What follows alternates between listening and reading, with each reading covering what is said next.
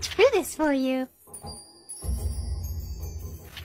Did you draw this in blood?